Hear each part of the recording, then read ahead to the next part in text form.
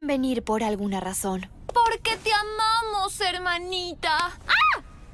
Estuvieron sobreprotectores y amables conmigo para que los perdone por el incidente en la biblioteca. Y nos disculpamos cada día.